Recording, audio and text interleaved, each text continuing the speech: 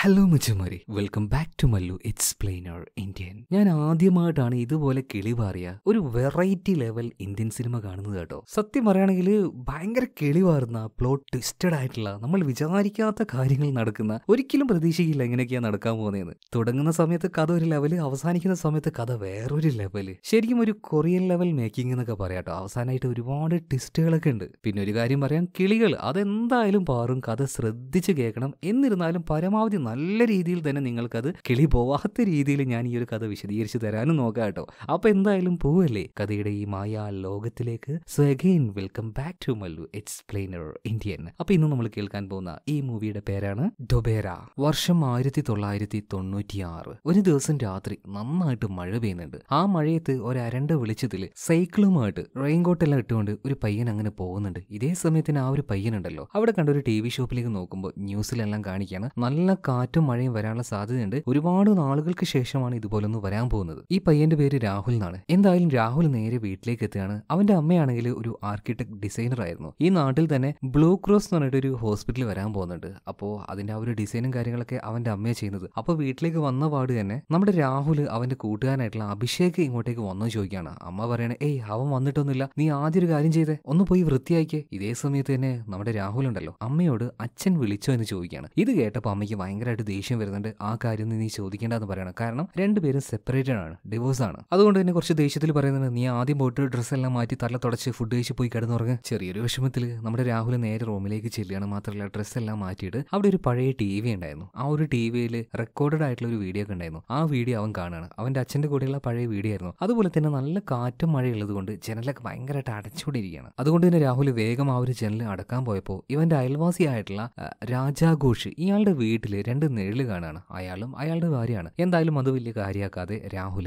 വാതിൽ ക്ലോസ് ചെയ്യുന്നുണ്ട്. വാതിലല്ല ജനൽ കേട്ടോ. കുറച്ചു നേരം കഴിഞ്ഞു. നമ്മുടെ രാഹുലിന്റെ അമ്മയും ഭക്ഷണം എല്ലാം കഴിച്ചിട്ട് മോന്റെ അടുത്തേക്ക് ഒന്ന് വന്ന് നോക്കി. നോക്കുമ്പോൾ ഡോറും മര്യാദ കടിച്ചിട്ടില്ലായിരുന്നു. രാഹുലിന്റെ അമ്മ പോയിട്ട് വേഗം ഡോർ എടുക്കുകയാണ് ആ സമയത്ത് പുറത്ത് ഒരു കാറ് വന്ന് നിൽക്കുന്നത് രാഹുലിന്റെ അമ്മ കാണുകയാണ് ആ കാറിൽ നിന്നും ഈ ഒരു രാജാഘോഷ് ഉണ്ടല്ലോ. ഇയാളുടെ ഭാര്യ ഈ നട്ടപ്പാതിരക്ക് ഈ മഴയത്ത് വരുന്നതായിട്ട് കാണുകയാണ്. ഇതെന്ത് ഈ സമയത്ത് ഇങ്ങനെ ഇവർ വരുന്നതെന്ന് വെച്ചിട്ട് ഒരു സംശയത്തോട് കൂടിയിട്ട് രാഹുൽ ആ സ്ത്രീയെ നോക്കുകയാണ് പക്ഷേ രാഹുൽ അപ്പോൾ ഈ രാജാഘോഷിന്റെ വീട്ടിൽ നേരത്തെ കണ്ടത് ആരെയായിരിക്കും? എന്തായാലും വാതിലെല്ലാം അടച്ചതിന് ശേഷം രാഹുലിന്റെ അമ്മ ഉറങ്ങാൻ വേണ്ടി പോവാണ്. കുറെ കഴിഞ്ഞപ്പോൾ നമ്മുടെ രാഹുലിന് തീരെ ഉറക്കം വരുന്നില്ല. അതുകൊണ്ട് തന്നെ ആ രാത്രിയിൽ അവൻ എഴുന്നേറ്റ് വീഡിയോ ക്യാമറ എല്ലാം ഓൺ ആക്കിയിട്ട് അവന്റെ വിഷ്വൽ ആ ഒരു ടി വിയിലേക്കായിട്ട് റെക്കോർഡ് ചെയ്യാണ്. അച്ഛനോട് സംസാരിക്കുന്നത് പോലെ. ഈ സമയത്താണ് ഈ രാജാഘോഷിന്റെ വീട്ടിൽ നിന്നും ഭയങ്കര ഒച്ചപ്പാടും ബഹളവും കേൾക്കുന്നത്. അയാളും അയാളുടെ ഭാര്യയും തമ്മിൽ പൂരം വഴക്ക്. അമ്മയോട് പോയിട്ട് രാഹുൽ ഈ ഒരു കാര്യം പറയുന്നുണ്ട്. അമ്മ നല്ല ഉറക്കത്തിലാണ്. എന്നാ പിന്നെ എനിക്ക് തന്നെ പോയി നോക്കാലെന്ന് പറഞ്ഞിട്ട് രാഹുൽ ഒരു റെയിൻകോട്ടിൽ ഇട്ടുകൊണ്ട് നേരെ ഈ രാജാഘോഷിന്റെ വീട്ടിലേക്ക് ചെല്ലാണ്. എന്നാൽ അവിടെ എത്തിയ സമയത്ത് ഒച്ചപ്പാടും ബഹളമൊന്നും ഇല്ലായിരുന്നു. ആ വീട്ടിലേക്ക് പോയ സമയത്ത് രാഹുൽ കണ്ട കാഴ്ച ചോരയിൽ കുളിച്ചു കിടക്കുന്ന രാജാഘോഷിന്റെ ഭാര്യയായിരുന്നു. മാത്രമല്ല തൊട്ടപ്പുറത്ത് തന്നെ ആ ഒരു അരണ്ട വെളിച്ചത്തിൽ ഒരുമാതിരി പ്രാന്തനെ പോലെ നിൽക്കുന്ന ഈ രാജാഘോഷിനെയും രാഹുൽ കാണുകയാണ്. ആകെ പേടിച്ചു പോയ രാഹുൽ പുറത്തേക്ക് ഇറങ്ങി ഓടുകയാണ്. ഈ നടന്ന കൊലപാതകത്തിന് ഏക സാക്ഷി എന്ന് പറയുന്നത് നമ്മുടെ രാഹുലാണല്ലോ. വെപ്രാളപ്പെട്ട് ഇങ്ങനെ പുറത്തേക്ക് ഓടിയ ഓട്ടത്തിൽ റോട്ടിലൂടെ വരുന്ന വണ്ടിയൊന്നും രാഹുൽ ശ്രദ്ധിച്ചിട്ടുണ്ടായിരുന്നില്ല.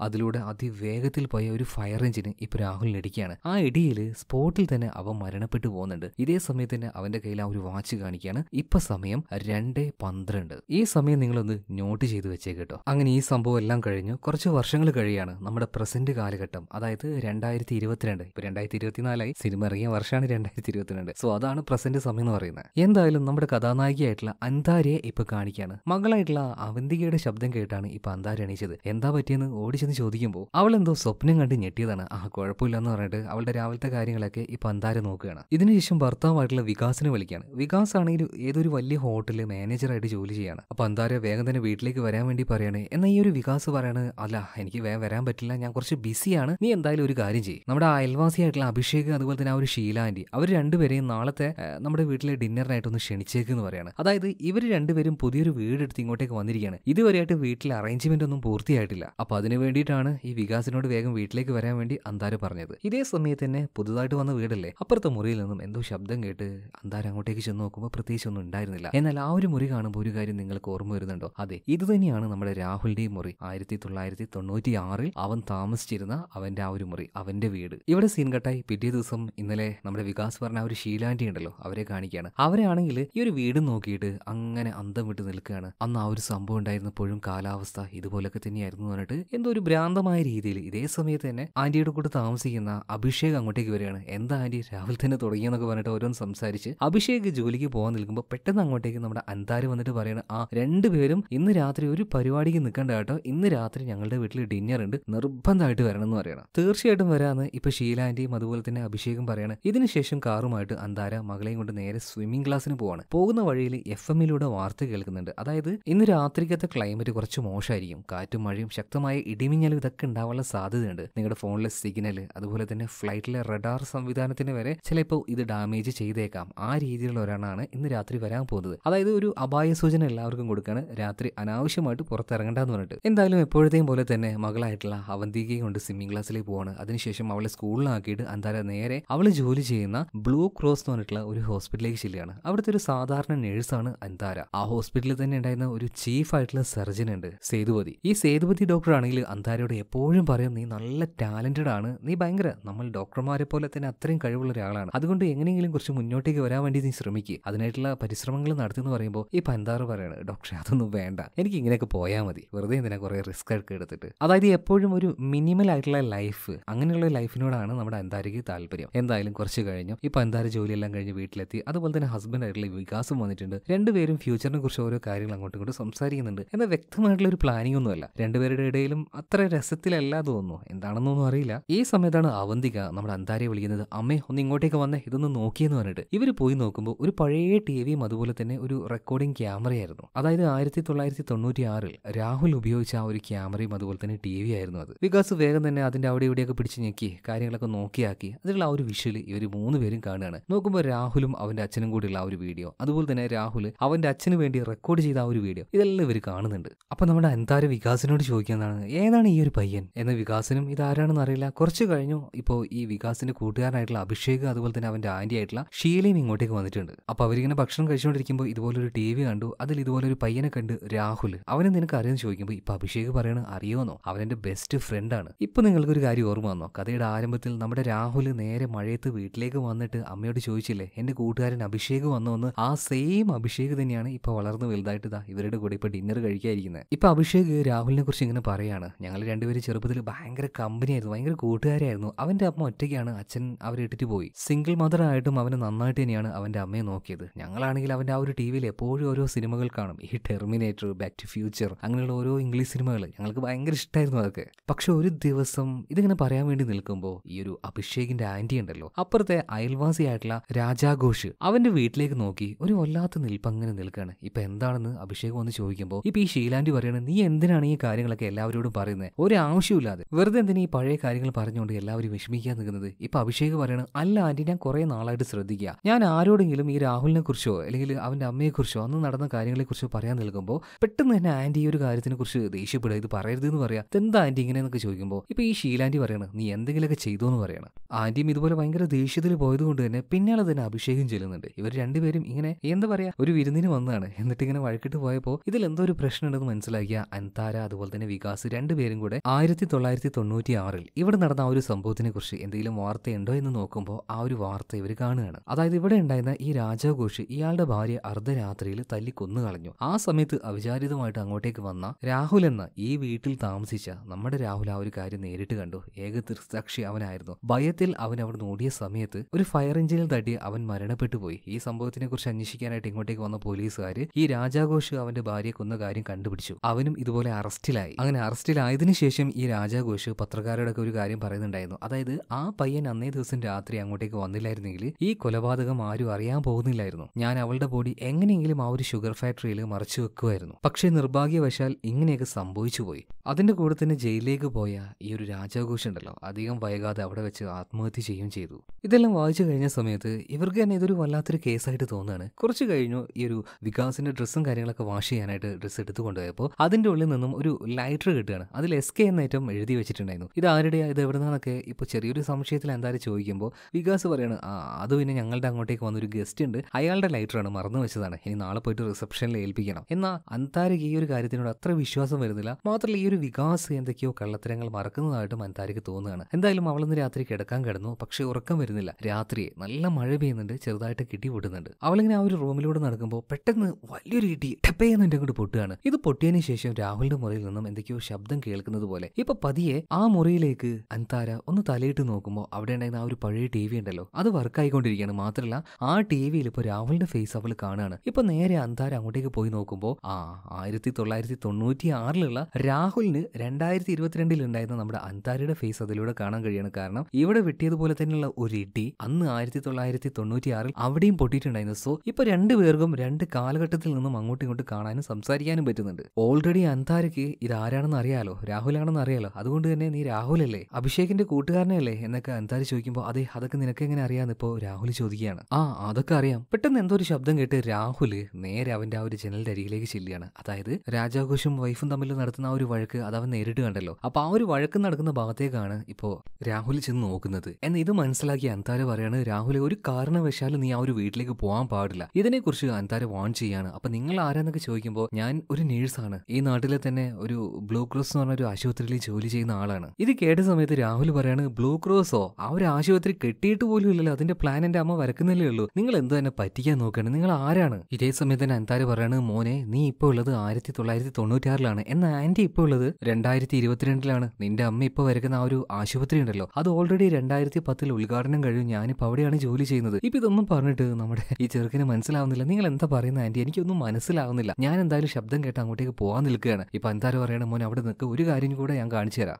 നേരത്തെ ഇവർ രണ്ടുപേരും കൂടെ ലാപ്ടോപ്പിൽ രാഹുലിന്റെ ആ ഒരു കേസിനെ കുറിച്ച് സെർച്ച് ചെയ്തിട്ട് പത്രത്തിൽ അതിന്റെ ആ ഒരു റിപ്പോർട്ട് ഉണ്ടായിരുന്നില്ലേ? ആ ഒരു റിപ്പോർട്ട് കൊണ്ടുവന്നിട്ട് ഇപ്പൊ രാഹുലിന് അഞ്ചാറ് കാണിച്ചു കൊടുക്കുകയാണ്. കണ്ടോ? ഇപ്പൊ അവിടെ ഒരു കൊലപാതകം നടക്കും. ആ ശബ്ദം കേട്ട് മോൻ അങ്ങോട്ടേക്ക് പോകും. പക്ഷെ അവിടെ നിന്ന് അത് കണ്ട് തിരിച്ചു വരുന്ന സമയത്ത് മോൻ ആക്സിഡന്റ് സംഭവിക്കും. അതുകൊണ്ട് ഒരു കാരണവശാലും അങ്ങോട്ടേക്ക് പോകരുത് എന്ന് ഇപ്പൊ രാഹുലിനോട് ഈ അന്താര് പറയാണ്. ഇതേ സമയത്ത് തന്നെ രാഹുൽ പറയാണ് നിങ്ങളൊന്ന് പൊയ്ക്കുക അവിടെ നിങ്ങൾ എന്നെ പറ്റിക്കാൻ നോക്കുകയാണ്. അവിടെ കാര്യമായിട്ട് എന്താ നടക്കുന്നുണ്ട്? എനിക്ക് അങ്ങോട്ടേക്ക് പോകണം എന്ന് പറഞ്ഞിട്ട് രാഹുൽ നേരെ അങ്ങോട്ടേക്ക് പോകണേ ഇതുപോലെ ആ ഒരു കൊലപാതകം അവൻ നേരിട്ട് കണ്ടു. ആകെ ഭയന്നു പോയ രാഹുൽ ഇപ്പോൾ പുറത്തേക്ക് ഓടി വരികയാണ്. എന്നാൽ അപ്പോഴേക്കും ആ ഒരു ഫയർ എഞ്ചിൻ ക്രോസ് ചെയ്ത് പോയിട്ടുണ്ടായിരുന്നു. കാരണം എന്താ? അവൻ ശരിക്കും അങ്ങോട്ടേക്ക് പോകേണ്ട ആ ഒരു സമയം ഒരു ഇച്ചിരി ഡിലേ ആയി കാരണം ഈ അന്താരിയോട് സംസാരിച്ചതുകൊണ്ട്.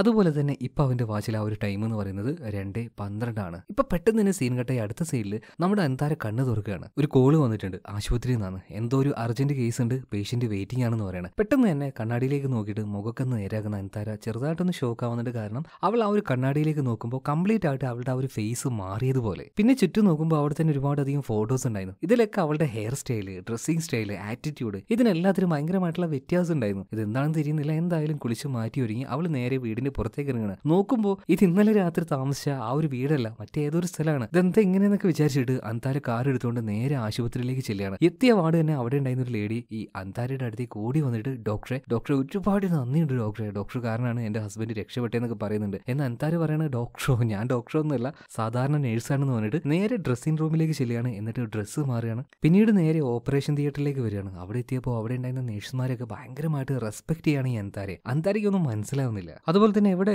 ഡോക്ടർ സേതുപതി എവിടെയും ചോദിക്കുമ്പോൾ സേതുപതിയോ? അതേതാ ഡോക്ടർ എന്നെല്ലാം ചോദിക്കുമ്പോൾ നമ്മുടെ അന്താരിക്ക് ഇവിടെ എന്താ നടക്കുന്നതെന്ന് ഒരു പിടുത്തം കിട്ടുന്നില്ല. അതുപോലെ തന്നെ അവൾ കണ്ണാടിയിൽ നോക്കുമ്പോൾ അവളുടെ കഴുത്തിലായിട്ട് ഒരു ചെയിൻ കാണുകയാണ്. ആ ചെയിൻ കണ്ടപ്പോൾ തന്നെ അന്താരിക്ക് മകളെ കുറിച്ച് ഓർമ്മ വരികയാണ് അവന്തിക. കാരണം ഇത് അവളുടെ കഴുത്തിലുണ്ടായിരുന്ന ചെയിനായിരുന്നു എന്തായാലും അവന്തികയെ ഓർമ്മ വന്നതോടെ തന്നെ നേരെ ആ ഒരു സ്വിമ്മിംഗ് ക്ലാസ്സിലേക്ക് ചെല്ലുകയാണ്. കാരണം ഈ സമയത്ത് അവൾ അവിടെ ഉണ്ടാവാറ്. അങ്ങോട്ടേക്ക് എത്തിയ പാട് അവിടെ ഉണ്ടായിരുന്ന ആ ഒരു മാഷിനോട് അവന്തിക എന്ന് പറഞ്ഞിട്ടുള്ള ഒരു പെൺകുട്ടി വന്നിനോ? അവൾ എവിടെയാന്ന് ചോദിക്കുമ്പോൾ ലിസ്റ്റും കാര്യങ്ങളൊക്കെ ഇപ്പോൾ ആ ഒരു മനുഷ്യ പരിശോധിക്കുന്നുണ്ട്. എന്നാൽ അവന്തിക എന്ന പേരുള്ള ഒരാൾ പോലും ഇപ്പം നിലവിൽ ഇങ്ങോട്ടേക്ക് പ്രാക്ടീസിന് വന്നിട്ടില്ല. ഇവിടെ സീൻ കട്ടാവാണ് അടുത്ത സീനിൽ കാണിക്കുന്നത് ആയിരത്തി തൊള്ളായിരത്തി തൊണ്ണൂറ്റി ആറിലാണ് ഇതേ സ്വിമ്മിംഗ് പൂളിലേക്ക് തന്നെ നമ്മുടെ രാഹുൽ അവന്റെ കൂട്ടുകാരനായിട്ടുള്ള അഭിഷേക് രണ്ടുപേരും വന്നിട്ടുണ്ട് അവർ നീന്തൽ പ്രാക്ടീസ് ചെയ്യാണ്. അതായത് ഇന്നലെ രാത്രി ഉണ്ടായിരുന്ന ആ ഒരു സംഭവത്തിൽ രണ്ട് കാലഘട്ടത്തിൽ അൻതാര അതുപോലെ തന്നെ രാഹുൽ ഇവർ തമ്മിൽ സംസാരിച്ചു. ആ ഒരു ഡിലയിൽ മരണപ്പെടേണ്ട രാഹുൽ മരണപ്പെട്ടില്ല. അവൻ ഇപ്പോഴും ജീവനോടെയുണ്ട്. അതുകൊണ്ട് തന്നെയാണ് നമ്മുടെ അൻതാരയുടെ ആ ഒരു ഫ്യൂച്ചറും ചേഞ്ച് ആയിപ്പോയത്. ഞാൻ എന്താ പറഞ്ഞതെന്ന് അല്ലെങ്കിൽ എന്താ സംഭവിച്ചതെന്ന് നിങ്ങൾക്ക് മനസ്സിലായില്ലേ? മനസ്സിലായിട്ടില്ലെങ്കിൽ കുറച്ചുകൂടെ മുന്നോട്ടേക്ക് പോകുമ്പോൾ വ്യക്തമായിട്ട് മനസ്സിലായിക്കോളും. അപ്പൊ എന്തായാലും ഇപ്പൊ രാഹുലിനെ കാണിക്കുന്നില്ലേ? അവന്റെ കൂട്ടുകാരൻ അഭിഷേകിനോട് ഈ ഒരു കാര്യമൊക്കെ പറയുന്നുണ്ട്. അതുപോലെ തന്നെ ഇപ്പൊ രാഹുൽ അമ്മയോടും ഈ ഒരു കാര്യങ്ങളൊക്കെ പറയുന്നുണ്ട്. ഏയ് അങ്ങനെയൊന്നും സംഭവിച്ചിട്ടുണ്ടാവില്ല. ഇപ്പൊ രാഹുലിന്റെ അമ്മയുടെ കൂടെ അവന്റെ ആന്റി ഉണ്ടല്ലോ ഷീല ആന്റി. ഷീല ആന്റി ഉണ്ടായിരുന്നു. അപ്പൊ ഷീല ആന്റി പറയുന്നത് ഏയ് അയാളുടെ വൈഫ് അതിന് ഇവിടെ ഇല്ലല്ലോ പുറത്ത് എവിടെയാണല്ലോ? ഇതേ സമയത്ത് തന്നെ രാഹുലിന്റെ അമ്മ പറയാണ് അല്ല പുറത്തല്ല. ഇന്നലെ രാത്രി അവർ വരുന്നതായിട്ട് ഞാൻ കണ്ടിട്ടുണ്ട് എന്ന് ഇപ്പൊ രാഹുലിന്റെ അമ്മ പറയാണ്. കാരണം വാതിലടക്കാൻ പോയപ്പോൾ രാഹുലിന്റെ അമ്മ ആ ഒരു കാര്യം കണ്ടതാണ്. അർദ്ധരാത്രിയിൽ മഴയത്ത് നനഞ്ഞു കുളിച്ചുകൊണ്ട് കാറിന്റെ പുറത്തേക്ക് വരുന്ന ഈ ഒരു രാജാഘോഷിന്റെ ഭാര്യ. അതായത് പാസ്റ്റിൽ എന്തൊക്കെയോ ചേഞ്ചുകൾ വന്നിട്ടുണ്ട്. ആ കാരണത്താലാണ് നമ്മുടെ അന്താരയുടെ ലൈഫും ചേഞ്ച് ആയി പോയിട്ടുള്ളത്. ഇപ്പോൾ അടുത്ത സീനിൽ നമ്മുടെ പ്രസന്റ് കാലഘട്ടത്തിൽ കാണിക്കുകയാണ്. ഇതുപോലെ അന്താര മോളെ കാണാനില്ല. അവന്തികയെ കാണാനില്ല എന്ന് പറഞ്ഞിട്ട് പോലീസിൽ കംപ്ലൈന്റ് ഒക്കെ കൊടുത്തു. ഇപ്പൊ ആ ഒരു കേസ് അന്വേഷിക്കാനായിട്ട് ഡി സി പി ആനന്ദ് വന്നിരിക്കുകയാണ്. ഇപ്പൊ ഡി സി പി ആനന്ദും കാര്യങ്ങളൊക്കെ അന്വേഷിച്ചു. അന്താരിയോട് പറയാണ് നിങ്ങൾ പറയുന്നത് പോലെ അവന്തിക എന്നുള്ള പേര് രജിസ്റ്ററിൽ കാണാനില്ല. അതുപോലെ ആ ഒരു പേരിലുള്ള ഒരു കുട്ടിയും ഈ അടുത്തായിട്ട് ഇങ്ങോട്ടേക്ക് പ്രാക്ടീസിന് വന്നിട്ടുമില്ല. നിങ്ങൾക്ക് എന്തെങ്കിലും മിസ്റ്റേക്ക് വന്നതാണോ? ഇതേ സമയത്ത് തന്നെ അൻതാര പറയുന്നത് ഏയ് അങ്ങനെയൊന്നുമില്ല. സ്ഥിരമായിട്ട് എന്റെ മകൾ അവന്തിക ഇങ്ങോട്ടേക്ക് തന്നെയാണ് വരാറുള്ളത്. എന്റെ ഹസ്ബൻഡ് വികാസ് അവൻ വിളിച്ചാൽ ഞാൻ ഇനി എന്താ പറയാന്ന് പറഞ്ഞപ്പോൾ ഇപ്പൊ ഡി സി പി ആനന്ദ് പറയാണ് ഒരു കാര്യം ചെയ്യും അവന് വിളിക്കുന്നു പറയാണ്. ഇപ്പൊ അൻതാര ഒരു കാര്യം പറയാണ് സാറ് വിളിക്കണമെന്നുണ്ട്. പക്ഷെ അയാളുടെ നമ്പർ എന്റെ ഫോണിൽ ഇപ്പം നിലവിലില്ല. അത് ഡിലീറ്റ് ആയി പോയിട്ടുണ്ട്. ഇപ്പൊ എന്തൊക്കെയോ സംശയങ്ങൾ തോന്നിയ ഈ ഡി സി പി ആനന്ദ് ഉണ്ടല്ലോ. അന്താരെ നോക്കിയിട്ട് പറയാണ്? നിങ്ങളൊരു കാര്യം പറ. എന്താണ് ശരിക്കും ഇന്നലെ രാത്രി സംഭവിച്ചത്? ഇപ്പൊ അൻതാര കാര്യങ്ങൾ പറഞ്ഞു കൊടുക്കുകയാണ് ഞങ്ങളുടെ വീട്ടിൽ ഇന്നലെ ചെറിയൊരു വിരുന്നുണ്ടായിരുന്നു. അഭിഷേക് എന്ന് പറഞ്ഞിട്ടുള്ള ഒരാളും അതുപോലെ തന്നെ അയാളുടെ ആന്റി ആയിട്ടുള്ള ഷീലയും രണ്ടുപേരും വന്നു ഭക്ഷണം കഴിച്ചു. ഇതിന്റെ ഇടയ്ക്ക് വഴക്കിട്ട് പോയി. പിന്നെ രാത്രിയായപ്പോൾ ഇങ്ങനെ ഒരു ഇടിമിന്നൽ ശബ്ദം ഉണ്ടായി. അതിലൂടെ തന്നെ ആയിരത്തി തൊള്ളായിരത്തി തൊണ്ണൂറ്റാറിലുള്ള ഒരാളുമായിട്ട് എനിക്ക് സംസാരിക്കാൻ പറ്റി. ഇതൊക്കെ കേട്ടപ്പോൾ ഡി സി പി ആനന്ദിന് കുറെ വട്ടായിട്ട് തോന്നുന്നു. എന്തായാലും നിങ്ങളുടെ ഭർത്താവിനൊന്ന് പോയി കാണുന്ന പറഞ്ഞിട്ട്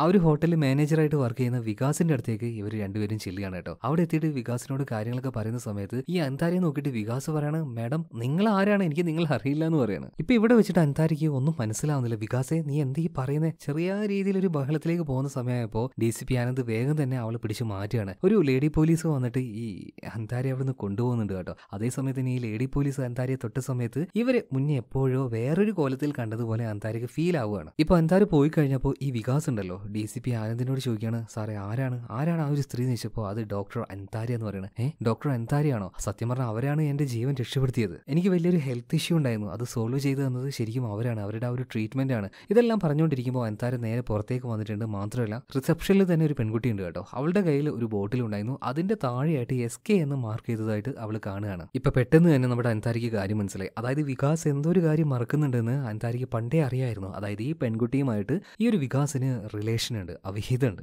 എന്നാൽ വികാസിന്റെ ടേബിളിലേക്ക് ചെന്ന് നോക്കിയപ്പോൾ കാണുന്ന കാഴ്ച എന്താണ്? വികാസ് മറ്റൊരു സ്ത്രീയുമായിട്ട് ഓൾറെഡി വിവാഹം കഴിഞ്ഞിട്ടുണ്ട്. ഭാവന എന്ന പേരുള്ള മറ്റൊരു സ്ത്രീ. അതുപോലെ മകളായിട്ടുള്ള അവന്തികയെക്കുറിച്ച് പറയുമ്പോൾ അങ്ങനെ ഒരു മകളേ ഇല്ല എന്നാണ് ഇപ്പൊ ഈ വികാസ് പറയുന്നത് ഒന്നും മനസ്സിലാകാതെ നമ്മുടെ അൻതാര പുറത്തേക്ക് പോയിട്ട് ഒരു പ്രാന്തിയെ പോലെ നടക്കുകയാണ് ഇപ്പോൾ എന്താ ഇവിടെ? എന്ത് ഈ നടക്കുന്നത് വല്ലാത്ത ആ ഒരു ഷോക്കിൽ അൻതാര ഇപ്പോൾ ഡി സി പി ആനന്ദിന്റെ കൈ പിടിച്ചിങ്ങനെ പറയുന്ന സമയത്ത് അവൾക്ക് അവനെ തൊട്ടപ്പോഴും എന്തൊക്കെയോ ചില കാര്യങ്ങൾ ഓർമ്മ വരികയാണ്. അതായത് എവിടേക്കോ എന്തൊക്കെയോ കണ്ടതുപോലെ ഈ ആനന്ദിനെ നേരത്തെ അറിയുന്നത് പോലെ അടുത്ത സീനിൽ കാണിക്കുന്നത് ആയിരത്തി തൊള്ളായിരത്തി തൊണ്ണൂറ്റി ആറിൽ രാഹുലിനെയാണ്. അപ്പൊ രാഹുൽ അമ്മയോട് അവനുണ്ടായി എക്സ്പീരിയൻസ് ഒക്കെ പറയുന്നുണ്ട്. ഇന്നലെ രാത്രി ഇടിമിന്നൽ അടിച്ചപ്പോൾ രണ്ടായിരത്തി ഇരുപത്തിരണ്ടിലുണ്ടായിരുന്ന ഒരു സ്ത്രീയുമായിട്ട് എനിക്ക് സംസാരിക്കാൻ പറ്റിയ അമ്മേ. ഇതെല്ലാം കണ്ടപ്പോൾ അല്ലെങ്കിൽ കേട്ടപ്പോൾ അവന്റെ അമ്മ പറയണേ ഇതാണ് ഞാൻ പറഞ്ഞ ആവശ്യമില്ലാത്ത സയൻസ് ഫിക്ഷൻ മൂവി കണ്ട് കണ്ട് കണ്ട് നിനക്ക് വട്ടായതാ മോനെ. അല്ലാതെ വേറെ ഒന്നുമല്ല ഇതിനുശേഷം പ്രസന്റിൽ കാണിക്കുകയാണ് അതായത് നമ്മുടെ പോലീസുകാരനായിട്ടുള്ള ഡി സി പി ആനന്ദിന്റെ കൂടെയാണല്ലോ ഇപ്പൊ എന്തായാലുള്ളത് കുറച്ചു നേരം കഴിഞ്ഞപ്പോൾ ആൾക്കൊരു ബോധം വന്നു. ഇന്നലെ രാത്രി ഇങ്ങനെയൊക്കെ സംഭവം ഉണ്ടായി. അതിലൂടെ പാസ്റ്റിൽ അതായത് ഭൂതകാലത്തിൽ അവളൊരു മാറ്റം വരുത്തിയല്ലോ. മരിക്കേണ്ട രാഹുലിനെ മരിക്കാതെ രക്ഷപ്പെടുത്തിയില്ലേ? അത് കണ്ടെത്തിക്കോ മാറ്റങ്ങൾ വന്നതാണെന്ന് ഡി സി പി ആനന്ദിനോട് വീണ്ടും പറയുമ്പോൾ ഇയാൾക്ക് ഇതൊന്നും മനസ്സിലാക്കാൻ കഴിയുന്നില്ല. ഡി സി പി ആനന്ദ് അതുകൊണ്ട് തന്നെ കുറച്ചൊന്ന് അന്വേഷിച്ചപ്പോൾ അന്താര ഭർത്താവാണെന്ന് പറയുന്ന ഈ വികാസ് വികാസ് ഭാവന എന്നൊരു പെണ്ണുമായിട്ട് വിവാഹം കഴിഞ്ഞിട്ട് കുറച്ച് വർഷമായിട്ടുണ്ട്. അതുപോലെ തന്നെ അന്താര ബ്ലൂ ക്രോസ് എന്ന ആ ഒരു ഹോസ്പിറ്റലിൽ നേഴ്സൊന്നുമല്ല. കഴിഞ്ഞ ഏഴ് വർഷമായിട്ട് ഏറ്റവും മുന്തിയ റാങ്കിലുള്ള ഒരു ഡോക്ടറായിട്ട് ജോലിയാണ് അവരെ അവിടെ അപ്പോയിന്റ് ചെയ്ത് തന്നെ സേതുപതി എന്ന് പറഞ്ഞിട്ടുള്ള ഒരു പ്രൊഫസറാണ്. ഒന്നും മനസ്സിലാകാതെ നിൽക്കുന്ന അന്താര പറയാണ് ഇനി എല്ലാത്തിനും ഉത്തരം കിട്ടണമെങ്കിൽ അവനെ കണ്ടുപിടിക്കണം. ആ ഒരു രാഹുലിനെ. അടുത്ത സീനിൽ വീണ്ടും നമ്മളെ പാസ്റ്റിലേക്ക് കൊണ്ടുപോവാണ്. അതായത് ആയിരത്തി തൊള്ളായിരത്തി തൊണ്ണൂറ്റി ആറിൽ അന്ന് രാജാഘോഷ് ഭാര്യയെ കൊന്നല്ലോ. സത്യം പറഞ്ഞാൽ അങ്ങനെ ഭാര്യയെ കൊല്ലാനുള്ള കാരണം അയാൾക്ക് മറ്റൊരു സ്ത്രീയുമായിട്ട് അവിഹിതം ഉണ്ടായിരുന്നു. ആ സ്ത്രീ മറ്റാരുമല്ല നമ്മുടെ രാഹുലിന്റെ കൂട്ടുകാരനായിട്ടുള്ള അഭിഷേകിന്റെ ആന്റി ഉണ്ടല്ലോ ഷീല. അവരായിരുന്നു ഈ രാജുവുമായിട്ട് അവിഹിതത്തിലുണ്ടായിരുന്ന ആ ഒരു സ്ത്രീ. എന്തായാലും ഈ ഒരു രാജു ഘോഷ് ഒരാളെ ഒരു സ്ത്രീയെ അതായത് സ്വന്തം ഭാര്യയെ കൊല്ലുന്നത് നമ്മുടെ രാഹുൽ നേരിട്ട് കണ്ടല്ലോ. അതിനുശേഷം ഇയാൾ എന്തൊക്കെയാ ചെയ്യുന്നതെന്നുള്ളത് രഹസ്യമായിട്ട് തന്നെ നമ്മുടെ രാഹുൽ വീക്ഷിക്കുന്നുണ്ടായിരുന്നു. അടുത്ത സീനിൽ വീണ്ടും പ്രസന്റിൽ കാണിക്കുകയാണ്. അതായത് അൻതാരയെ അവളുടെ പ്രൊഫസർ ആയിട്ടുള്ള ഡോക്ടർ സേതുപതിയുടെ അടുത്തേക്ക് കൊണ്ടുപോവാണ്. അദ്ദേഹം കുറച്ച് കാര്യങ്ങളൊക്കെ നിരീക്ഷിച്ചതിനു ശേഷം ഇപ്പൊ അൻതാരയോട് സംസാരിക്കുകയാണ്. നീ ഇങ്ങനെയൊക്കെ ചിന്തിക്കാനും പ്രവർത്തിക്കാനുള്ള പ്രധാന കാരണം നീ ചികിത്സിച്ച ഒരു പേഷ്യന്റ് ആയിരുന്നു വികാസ്. അവനെ ശരിക്കും രക്ഷപ്പെടുത്തിയത് നീയാണ്. അതുകൊണ്ടാണ് അവൻ നിന്റെ ഹസ്ബൻഡ് ആണ് എന്നുള്ളൊക്കെ തോട്ട് നിനക്ക് വരുന്നത്. അതുപോലെ തന്നെ കുറച്ച് ദിവസം മുന്നേ നീ നടത്തിയ ഓപ്പറേഷനിൽ ഒരു പെൺകുട്ടി മരിച്ചുപോയി. അവന്തിക. സോ ആ ഒരു പെൺകുട്ടിയാണ് നീ മകളാണെന്ന് പറയുന്നത്. അതായത് ഈ ടൈം ലൈനിൽ നടക്കുന്ന ആ ഒരു വ്യക്തമായിട്ടുള്ള റീസൺ ആണ് ഡോക്ടർ സേതുപതി അൻതാരയ്ക്ക് പറഞ്ഞു കൊടുക്കുന്നത്. ബട്ട് ഇത് പുതിയൊരു ടൈം ലൈൻ ആണ്. ഇതിനു മുന്നേ മറ്റൊരു ടൈം ലൈൻ ഉണ്ടായിരുന്നു. അത് അൻതാരയ്ക്ക് മാത്രമേ അറിയുള്ളൂ. അതുകൊണ്ട് തന്നെ ഒരു പ്രാന്തിയെ പോലെ കാർ എടുത്തുകൊണ്ട് അവൾ ഇവിടുന്ന് പോവാണ്. ഡി സി പി ആനന്ദ് പറഞ്ഞെങ്കിലും അവൾ വാഹനം നിർത്താൻ തയ്യാറായില്ല. വീണ്ടും ഇതിനുശേഷം നമ്മളെ പാസ്റ്റിലേക്ക് അതായത് ഭൂതകാലത്തിലേക്ക് കൊണ്ടുപോവാണ്. നമ്മുടെ രാഹുലിന്റെ അയൽവാസിയായിട്ടുള്ള രാജു ഉണ്ടല്ലോ ഭാര്യയും കൊന്നിട്ട് ആ ഒരു ബോഡി ഡിസ്പോസ് ചെയ്യാൻ വേണ്ടി ഇയാൾ പല പദ്ധതികൾ ഉണ്ടാക്കുന്നുണ്ട്. സോ സ്വന്തം ഭാര്യയുടെ ആ ഒരു ശവശരീരം ഈ രാജു വെട്ടി നുറുക്കുന്നത് നമ്മുടെ രാഹുൽ ഒളിഞ്ഞിരുന്ന് അങ്ങനെ നോക്കുന്നുണ്ട് കേട്ടോ. പിന്നീട് ഇയാൾ ഇത് എവിടെയോ കുഴിച്ചു മൂടുകയും ചെയ്തു. ഇതിനുശേഷം വീണ്ടും നമ്മുടെ ഈ ഒരു പ്രസന്റിലേക്ക് വരുന്നുണ്ട്. അതായത് അൻതാര ഒരു പ്രാന്തിയെ പോലെ അവിടെ നിന്ന് ഇറങ്ങി പോയി എന്ന് പറഞ്ഞില്ലേ? നേരെ പോകുന്നത് കഴിഞ്ഞ ആ ഒരു ടൈം ലൈനിൽ അവളും അവളുടെ ഹസ്ബൻഡായിട്ടുള്ള വികാസും കൂടെ വന്ന് മേടിച്ച ആ ഒരു വീടുണ്ടല്ലോ അങ്ങോട്ടേക്കാണ്. അവിടെ വന്ന് വാതിൽ മുട്ടുന്നുണ്ട്. വാതിൽ തുറക്കുമ്പോൾ അതിന്റെ ഉള്ളിൽ വികാസ് തന്നെയാണ്. അയാളുടെ കൂടെ അയാളുടെ ഭാര്യയായിട്ടുള്ള ഈ ടൈം ലൈനിലെ ഭാവനയുണ്ട്. ഇപ്പൊ അർദ്ധരാത്രിയിൽ കയറി വന്നിട്ട് അന്താര എവിടെ എന്റെ കുട്ടി? എവിടെ എന്റെ കുട്ടി? എന്ന് ഒരാളോട് ചോദിച്ചാൽ സ്വാഭാവികമായിട്ടും ഈ വികാസിന്റെ ഇപ്പോഴത്തെ ഭാര്യ മീൻസ് ഈ ടൈം ലൈനിലെ ഭാര്യ ഭാവനയ്ക്ക് സംശയം ഉണ്ടാവുമല്ലോ. സോ ഭാവനയും ഇപ്പൊ വികാസിനോട് ചൂടാവാണ്. ഇതേ സമയത്ത് അന്താരയെ തേടിക്കൊണ്ട് ഡി സി പി ആനന്ദ് ഇങ്ങോട്ടേക്ക് വരികയാണ്. അതുകൊണ്ട് തന്നെ ഇയാളുടെ കയ്യിൽ നിന്ന് രക്ഷപ്പെടാനായിട്ട് അന്താര വേഗം അവിടെ ഓടുകയാണ്. അപ്പുറത്തെ ഒരു വീടിന്റെ മതിലിന്റെ അപ്പുറത്തേക്ക് ചാടുന്നുണ്ട്. ഇപ്പൊ ആ വീട്ടിലുണ്ടായിരുന്ന രണ്ട് ആൾക്കാർ അവരിങ്ങനെ എന്തൊക്കെയോ സംസാരിക്കുന്നുണ്ട്. പോലീസുകാരെന്ത് ഈ സമയത്ത് ഇങ്ങോട്ടേക്ക്? അവർക്ക് എന്തെങ്കിലും സംശയം തോന്നിയിട്ടാണോ? എന്നൊക്കെ ഇവർ സംസാരിക്കുമ്പോൾ അന്താര പതിയെ ഇത് ആരാണെന്ന് നോക്കുമ്പോൾ അത് ആ ഒരു രാജു അതുപോലെ തന്നെ രാജുവുമായിട്ട് അവിഹിതത്തിലുണ്ടായിരുന്ന ഈ അഭിഷേകിന്റെ ആന്റി ആയിട്ടുള്ള ഷീലയുമായിരുന്നു. ഇതെന്താണ്? ഒന്നും മനസ്സിലാവുന്നില്ല. കാരണം ഇയാൾ ഓൾറെഡി അറസ്റ്റിലായിട്ട് ഇയാൾ ജയിലിൽ പോയിട്ട് അവിടുന്ന് ആത്മഹത്യ ചെയ്തതല്ലേ? പിന്നെന്താ? ഇയാൾ ജീവനോടെ ഇപ്പൊ ഈ ഒരു ഷീലയുടെ കൂടെ ഈ ഒരു വീട്ടിൽ ശരിക്കും സംഭവിച്ചത് എന്താ വെച്ചാൽ പുതിയൊരു ടൈം ലൈനിൽ നമ്മുടെ അൻതാര ഭൂതകാലത്തിലേക്ക് നമ്മുടെ രാഹുലുമായിട്ട് സംസാരിച്ചല്ലോ. അപ്പൊ അവൻ അതിൽ നിന്ന് രക്ഷപ്പെട്ടല്ലോ. അവൻ മരണപ്പെടാത്തത് കൊണ്ട് തന്നെ ആ സ്ഥലത്തേക്ക് പോലീസുകാർ വന്നിട്ടില്ല. രാജു പോലീസുകാരുടെ കയ്യിൽ പെട്ടില്ല അതായത് രാജു ഭാര്യയെ കൊന്ന കാര്യം പോലീസുകാർ അറിഞ്ഞില്ല. അതുകൊണ്ട് തന്നെ രാജു ഈ ഒരു അവിഹിതം ഉണ്ടായിരുന്ന ശീലയുമായിട്ട് തന്നെ സന്തോഷത്തോട് കൂടിയിട്ട് ഇത്രയും വർഷം പത്തിരുപത്തഞ്ച് വർഷമായിട്ട് ഇവിടെ തന്നെ ജീവിക്കുകയാണ്. അതായത് പുതിയ ടൈം ലൈനിൽ ഈ വന്ന മാറ്റങ്ങളൊക്കെ അൻതാര മനസ്സിലാക്കിയെടുക്കുകയാണ് അതായത് അവൾ ചെയ്ത ചെറിയൊരു കാര്യം അതായത് ഈ ഒരു രാഹുലുമായിട്ട് കുറച്ചു നേരം ഒന്ന് സംസാരിച്ചു. അതിലൂടെ ഈ രാഹുൽ മരണപ്പെടാതെ രക്ഷപ്പെട്ടു. ആകെ കൂടി കുഴഞ്ഞു മറിഞ്ഞ തലയുമായിട്ട് അൻതാര നേരെ പോകുന്നത് അഭിഷേകിന്റെ അടുത്തേക്കാണ്. കാരണം അവൾക്ക് പരിചയമുള്ളത് അല്ലെങ്കിൽ അവളുടെ കൂട്ടുകാരനായിരുന്നു ഈ അഭിഷേക് അഭിഷേക് വഴിയാണ് വികാസിനെ പരിചയപ്പെട്ടതും അവനെ വിവാഹം കഴിച്ചതും. അങ്ങനെ ഈ അഭിഷേകിനെ കണ്ടുപിടിച്ച് അവനോട് സംസാരിക്കുന്ന മുന്നേ തന്നെ അൻതാര പറയുന്നുണ്ട്? അഭിഷേക് നിനക്ക് എന്നെ അറിയില്ല എന്ന് മാത്രം പറയരുതെന്ന്. ഇപ്പൊ അഭിഷേക് പറയാണ് നിങ്ങളെ അറിയില്ല എന്ന് ആരെ പറയാ? കാരണം ഈ നാട്ടിലെ ഏറ്റവും ഫേമസ് ആയിട്ടുള്ള ഡോക്ടർ ഡോക്ടർ അൻതാരല്ലേ നിങ്ങൾ ഇത് കേട്ടപ്പോൾ അന്താര തലയിൽ കൈവച്ചിരുന്നു പോവാണ്. അതായത് ഈ പുതിയ ടൈം ലൈനിൽ അഭിഷേക് മറ്റൊരാളാണ്. അഭിഷേകിന് നമ്മുടെ അന്താരയെ പേഴ്സണൽ ആയിട്ട് അറിയൊന്നുമില്ല. മാത്രല്ല ഈ അഭിഷേക് ആണെങ്കിൽ ഇവിടെ ഒരു ലൈബ്രറിയനാണ് ഒരു ബുക്ക് ഷോപ്പ് എല്ലാം വെച്ചുകൊണ്ടിരിക്കുകയാണ്. എന്നാൽ നീ ഒരു പൈലറ്റ് അല്ലേ എന്ന് അന്താര ചോദിക്കുമ്പോൾ ഏയ് ഞാൻ പൈലറ്റ് ഒന്നുമല്ല. ഞാൻ പൈലറ്റ് ആവാൻ ആഗ്രഹിച്ചിരുന്നു. പക്ഷെ അതൊന്നും നടന്നില്ല. അവസാനിത ഒരു ബുക്ക് ഷോപ്പുമായിട്ട് ഇങ്ങനെ ഇരിക്കുന്നു. അതായത് കഴിഞ്ഞ ടൈം ലൈനിൽ അന്താരിയുടെ സുഹൃത്തായിട്ടുള്ള അഭിഷേക് ഒരു പൈലറ്റ് ആയിരുന്നു. എന്ന് ഇതൊന്നും റിയലൈസ് ചെയ്യാൻ അന്താരിക്ക് ഇപ്പോഴും കഴിയുന്നില്ല. അതുകൊണ്ട് തന്നെ അഭിഷേകിനോട് പറയണം നിനക്ക് ഓർമ്മയില്ലേ? ഇന്നലെ രാത്രി നീ നിന്റെ ആന്റി ഷീലയുമായിട്ട് വീട്ടിലേക്ക് വന്നത്. നിനക്ക് ഓർമ്മയില്ലേ? നീ വഴിയാണ് നിന്റെ കൂട്ടുകാരനായിട്ടുള്ള വികാസനെ ഞാൻ പരിചയപ്പെട്ടത്. ഞാൻ അവന് വിവാഹം കഴിച്ചത്. ഞങ്ങൾക്ക് അവന്തിക എന്ന് പറഞ്ഞിട്ടുള്ള ഒരു മോൾ ഉണ്ടായിരുന്നത്. ആ മോളെ ഇപ്പൊ കാണാനില്ല. എങ്ങനെയെങ്കിലും നീ ഒന്ന് ഹെൽപ്പ് ചെയ്യേ. അതുപോലെ ഇന്നലെ രാത്രി നീ എന്റെ വീട്ടിലേക്ക് വന്നപ്പോൾ ആ ഒരു കാര്യം പറഞ്ഞില്ലേ? നിന്റെ ചെറുപ്പത്തിലെ കളിക്കൂട്ടുകാരനായിട്ടുള്ള രാഹുൽ അവൻ ഇതുപോലെ അടുത്ത വീട്ടിൽ ഒരു കൊലപാതകം കണ്ടു തിരിച്ചു വരുമ്പോൾ മരണപ്പെട്ടു പോയി എന്നുള്ള ഒരു കഥയൊക്കെ നീ പറഞ്ഞില്ലേ? അതൊന്നും നിനക്ക് ഓർമ്മയില്ലെന്ന് ചോദിക്കുമ്പോൾ അഭിഷേക് പറയണ ആ ഡോക്ടർ അൻതാര നിങ്ങൾ ആ ഒരു പുസ്തകം വായിച്ചിട്ടുണ്ടല്ലേ? ഏത് പുസ്തകം എന്ന് അൻതാര ചോദിക്കുമ്പോൾ ടു ട്വൽവ് രണ്ടേ പന്ത്രണ്ട് എന്ന് പറഞ്ഞ ആ ഒരു പുസ്തകം. ഇപ്പൊ അൻതാര പറയണേ ഇല്ല ഞാൻ ആ ഒരു പുസ്തകം വായിച്ചില്ല. ഇപ്പൊ അഭിഷേക് പറയണ മേഡം നിങ്ങൾ പറഞ്ഞ ഈ കഥകളൊക്കെ ഉണ്ടല്ലോ ഇതെല്ലാം ആ ഒരു പുസ്തകത്തിൽ ഉണ്ടെന്ന് പറയാണ്. ഒന്നും തിരിയാതെ നിൽക്കുന്ന അൻതാരയോട് ഇപ്പൊ അഭിഷേക് പറയാണ് നിങ്ങൾ പറഞ്ഞ എന്റെ കൂട്ടുകാരനുണ്ടല്ലോ രാഹുൽ അവൻ മരണപ്പെട്ടിട്ടൊന്നുമില്ല. അവനും ഇതുപോലെ ചെറിയ പ്രായത്തിൽ ഞങ്ങൾ നല്ല കൂട്ടുകാരായിരുന്നു. അവനും ഓരോ പ്രാന്ത് ഇങ്ങനെ പറയായിരുന്നു. അതായത് ഫ്യൂച്ചറിൽ നിന്നും രണ്ടായിരത്തി ഇരുപത്തിരണ്ടിൽ നിന്നും ഒരു ആന്റി അവനെ വിളിച്ചിട്ടുണ്ടായിരുന്നു. ഓരോ കാര്യങ്ങൾ പറഞ്ഞു ഒരു കൊലപാതകം ഉണ്ടാകുമെന്ന് പറഞ്ഞു അതിലൂടെ ഇവൻ മരണപ്പെടുന്നു പറഞ്ഞു. പക്ഷേ അവനിങ്ങനെ ഓരോ സിനിമകളൊക്കെ കണ്ടിട്ട് അവന്റെ തല തിരിഞ്ഞു പോയതാണെന്നാണ് ഞങ്ങൾ നാട്ടുകാരും അതുപോലെ തന്നെ അവന്റെ അമ്മയും വിചാരിച്ചത്. അവനെ കൊണ്ട് ഒരു സൈക്കോളജിക്കൽ ഡോക്ടറുടെ അടുത്തേക്ക് ചെന്നിട്ടുണ്ടായിരുന്നു. ആ ഒരു ഡോക്ടർ ആ ഒരു ഡോക്ടർ എഴുതിയ ബുക്കാണ് അതായത് ഇവൻ പറയുന്ന കാര്യങ്ങൾ വെച്ച് പിന്നീട് ആ ഒരു ഡോക്ടർ എഴുതിയ ബുക്കാണ് ടു ട്വൽവ് എന്ന് പറഞ്ഞിട്ടുള്ള ഈ ഒരു ബുക്ക് ഇത് ഭയങ്കര ഫേമസ് ആണല്ലോ ഡോക്ടറെ ഇപ്പൊ അന്താരിക്ക് എങ്ങനെയെങ്കിലും ഈ ഒരു രാഹുലിനെ കണ്ടാൽ മതി എന്നായി അതായത് അവൻ മരണപ്പെട്ടിട്ടില്ലല്ലോ. അവൻ എവിടെ അവൻ ഈ നാട്ടിലുണ്ടോ എന്ന് ചോദിച്ചപ്പോൾ ഇപ്പൊ അഭിഷേക് പറയണേ ഏ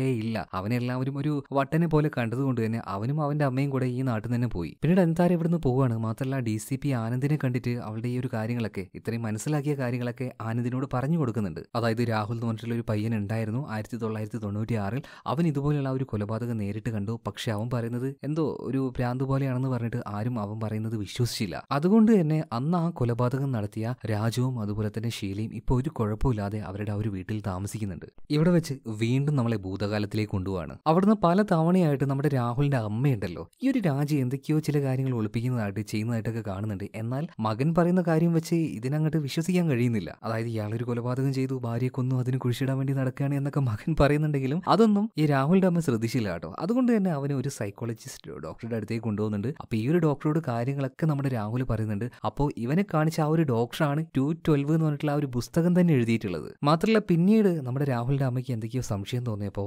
അയൽവാസിയായിട്ടുള്ള ഈ ഒരു ഷീലാന്റി ഉണ്ടല്ലോ അവരോട് പോയിട്ട് കാര്യങ്ങളൊക്കെ പറയുന്നുണ്ട്. യഥാർത്ഥത്തിൽ ഷീലാന്റിക്കും ഇതിനെക്കുറിച്ച് എന്തൊക്കെയോ അറിയാലോ. അതുകൊണ്ട് ഷീലാന്റി പറയാണ് അല്ല വെറുതെ ഈ പരിപാടിക്കൊന്നും നിൽക്കണ്ട. ഒരു തെളിവുമില്ലാതെ സ്റ്റേഷനിൽ പോയിട്ട് ഇങ്ങനത്തെ കാര്യമൊക്കെ പറഞ്ഞാൽ അത് പിന്നീട് നമുക്ക് തന്നെ ദോഷമാവുന്ന ഇപ്പൊ ഷീലാന്റി നമ്മുടെ രാഹുലിന്റെ അമ്മയെ പേടിപ്പിക്കുകയാണ്. ഇവിടെ സീൻ കട്ടായി അടുത്ത സീനിൽ വീണ്ടും പ്രസന്റിൽ കാണിക്കുകയാണ് അതായത് ആ ഒരു ഡോക്ടർ എഴുതിയ ബുക്ക് മുഴുവനും അന്താര വായിച്ചല്ലോ. അപ്പൊ ആ ഒരു പുസ്തകത്തിൽ എഴുതിയിട്ടുള്ളത് ഈ രാജ് അയാളുടെ ഭാര്യ കുഴിച്ചു മൂടിയിരിക്കുന്നത് ഷുഗർ ഫാക്ടറിയിലാണ് ഫാക്ടറിയിലാണ്. അതും അയാളുടെ തന്നെ ഒരു ഫാക്ടറിയാണ്. അപ്പോൾ ഈ പുസ്തകത്തിൽ എങ്ങനെ എഴുതിയിട്ടുണ്ടെങ്കിൽ ചെറിയ പ്രായത്തിൽ ആ രാഹുൽ കണ്ട കാര്യമായിരിക്കുമല്ലോ ഡോക്ടർ ഇതുപോലെ എഴുതി വെച്ചിട്ടുണ്ടാവുക. അപ്പോൾ ഡി സി പി ആനന്ദുമായിട്ട് നമ്മുടെ അൻതാര നേരെ ആ ഒരു ഷുഗർ ഫാക്ടറിയിലേക്ക് ചെല്ലുകയാണ്. ഈ പറഞ്ഞതുപോലെ തന്നെ അവിടെ സെർച്ചിങ് നടത്തുകയാണ്. അങ്ങനെ കുഴിച്ചു നോക്കിയ സമയത്ത് ഇരുപത്തഞ്ച് വർഷങ്ങൾക്ക് മുന്നേ രാജു കൊന്ന അയാളുടെ ഭാര്യയുടെ ബോഡി ബോഡിയല്ല എല്ലും കഷ്ണങ്ങളും കാര്യങ്ങളൊക്കെ കിട്ടുകയാണ്. അങ്ങനെ ഇരുപത്തഞ്ച് വർഷത്തിന് ശേഷം ഈ ഒരു കേസ് സോൾവ് ആവുകയാണ് ഈ ഒരു ടൈം ലൈനിൽ കേട്ടോ. മാത്രമല്ല രാജുവിനെയും അവന്റെ ഭാര്യയായിട്ടുള്ള ഇപ്പൊ നിലവിലെ ഭാര്യയായിട്ടുള്ള ഷീലയും അറസ്റ്റ് ചെയ്യപ്പെടുകയാണ് എന്നാൽ അൻതാര ഡി സി പി ആനന്ദിന്റെ കൂടെ തന്നെയാണ്. ഇപ്പോഴും അൻതാരയുടെ എല്ലാ പ്രശ്നവും സോൾവ് ആയിട്ടില്ല. അവളുടെ മകളായിട്ടുള്ള അവന്തികയെ ഇതുവരെയായിട്ടും തിരിച്ചു കിട്ടിയിട്ടില്ല. ഇനിയിപ്പോ കിട്ടണമെങ്കിൽ ഒരേ ഒരു വഴിയേ ഉള്ളൂ ആ ഒരു വികാസിന്റെ വീട്ടിൽ ആ വീട്ടിലാണല്ലോ രാഹുൽ ചെറുപ്പത്തിൽ താമസിച്ചത്. ആ വീട്ടിൽ ചെന്ന് ആ ഒരു പഴയ ടിവിയുടെ മുന്നിലിരുന്ന് എങ്ങനെയെങ്കിലും ആയിരത്തി തൊള്ളായിരത്തി തൊണ്ണൂറ്റിയാറിലേക്ക് ഒരു കോൾ കണക്ട് ആകണം. പക്ഷെ ആ വീട്ടിലേക്ക് എങ്ങനെ ചെല്ലും? അതിന് വികാസ് സമ്മതിച്ചാലല്ലേ പറ്റുള്ളൂ. അതിനൊരു വഴിയുണ്ടെന്ന് അൻതാര പറയാണ്. അതായത് ഇന്ന് വെള്ളിയാഴ്ചയാണ്. വെള്ളിയാഴ്ച ദിവസങ്ങളിൽ അൻതാരയുടെ ഹസ്ബൻഡ് ആയിട്ടുള്ള വികാസ് കഴിഞ്ഞ ടൈമിലല്ലേ എപ്പോഴും ഹോട്ടലിൽ നിൽക്കും. അവളുടെ വീട്ടിലേക്ക് വരില്ല എന്തോ ഒരു കള്ളത്തിലുണ്ടെന്ന് അന്ന് തന്നെ അനന്താരിക്ക് മനസ്സിലായി. ഇപ്പൊ നേരെ ഹോട്ടലിലേക്ക് ചെല്ലുകയാണ്. അവന്റെ കീശയിൽ നിന്നും അന്ന് എസ് കെ എന്ന് പറഞ്ഞിട്ടുള്ള എന്തോ ഒരു ലൈറ്റർ കിട്ടിയെന്ന് പറഞ്ഞില്ലേ? അതേ ചിഹ്നം തന്നെ ഒരു പെൺകുട്ടിയുടെ ബോട്ടിലും കണ്ടിട്ടുണ്ടായിരുന്നു. സോ ആ ഒരു പെൺകുട്ടിയുമായിട്ട് ഒരു റൂം എടുത്ത് ഈ ഒരു ദിവസത്തിൽ അവൻ അഫെയറിലായിരിക്കും മിക്ക വെള്ളിയാഴ്ചയും നേരെ അങ്ങോട്ടേക്ക് ചെല്ലുകയാണ്. അവനെ കൈയോടെ പൊക്കുകയാണ്. ഇപ്പൊ ഈ വികാസ് പറയുന്നത് നിങ്ങൾ എന്തിനാ വെറുതെ എന്റെ പേഴ്സണൽ ആയിട്ടുള്ള കാര്യത്തിലേക്ക് വരുന്നത്? വെറുതെ ഇതിൽ ഇടപെടാൻ നിൽക്കേണ്ടെന്നൊക്കെ അന്താരിയോട് വികാസ് പറയുമ്പോൾ നിന്റെ ഈ കളിയൊക്കെ ഞാൻ പണ്ടേ കണ്ടുപിടിച്ചതാണ്. അതൊന്നും എനിക്കൊരു വിഷയമല്ല. എനിക്ക് എന്റെ മകൾ വേണം. അവൾ എവിടെ അതുപോലെ തന്നെ നിനക്ക് ആരാണ് ഈ ഒരു വീട് തന്നത്? ആരാണ് നിനക്ക് ഇത് വിറ്റതെന്ന് പറഞ്ഞപ്പോൾ അതൊരു സ്ത്രീയാണെന്ന് പറയാണ്. ആ സ്ത്രീയുടെ അഡ്രസ്സ് ഇപ്പൊ അൻതാര് ചോദിക്കുകയാണ്. ഇവിടെ വെച്ച് വീണ്ടും നമ്മളെ പാസ്റ്റിലേക്ക് അതായത് ഭൂതകാലത്തിലേക്ക് കൊണ്ടുപോവാണ്. അവിടെ ഇപ്പോൾ രാഹുലും അവന്റെ അമ്മയും കൂടെ സ്റ്റേഷനിലേക്ക് പോയിരിക്കുകയാണ്. ഇവർക്ക് ഇതുപോലെ കാര്യത്തിൽ സംശയമുണ്ടല്ലോ. ഈ രാജു അയാളുടെ ഭാര്യയെ കൊന്നു കൂടുതൽ ആ ഒരു ശീലയും കൂട്ടിനുണ്ട് എന്ന് പറഞ്ഞിട്ട് എന്തായാലും ഇപ്പോൾ ഈ രാജുവിനെയും ശീലയും സ്റ്റേഷനിലേക്ക് വിളിച്ചു വരുത്തി. ചോദ്യം ചോദിക്കുന്നുണ്ട്. എന്നാൽ യാതൊരു തെളിവും ഇല്ലാതെ ഒരടിസ്ഥാനവും ഇല്ലാതെ ഇവരിങ്ങനെ വന്ന് പരാതി കൊടുത്തപ്പോൾ ശരിക്കും പോലീസുകാർ കളിയാക്കുന്നതും അപഹസിക്കുന്നതും നമ്മുടെ രാഹുലിനെയും അവന്റെ അമ്മയാണ്. രാഹുലിനെന്തോ മാനസികമായിട്ടുള്ള പ്രശ്നമുണ്ട് എന്നൊക്കെ പറയാണ്. എന്തായാലും ഇവിടെ സീൻ കട്ടായി. ഇതേപോലെ തന്നെ ഇപ്പോ ഇരുപത്തഞ്ച് വർഷങ്ങൾക്ക് ശേഷം ഇതേ രാജുവും അതുപോലെ തന്നെ ഷീലയും അറസ്റ്റ് ചെയ്യപ്പെട്ടിട്ടുണ്ട്. ഹൺഡ്രഡ് പെർസെന്റേജ് രാജു അവന്റെ ഭാര്യ കൊന്നതിനുള്ള തെളിവും കിട്ടിയിട്ടുണ്ട്. അതുകൊണ്ട് തന്നെ എല്ലാ കാര്യങ്ങളും മണിമണിയായിട്ട് രാജു പറയാൻ തുടങ്ങുകയാണ് അതായത് ഈ രാജുവിന്റെ അൽവാസിയായിട്ടുള്ള സ്ത്രീയായിരുന്നു ഷീല തുടക്കത്തിലൊക്കെ സാധാരണ ഒരു പരിചയക്കാരിയായിരുന്നു. പിന്നെ പോകെ പോകെ അത് മറ്റൊരു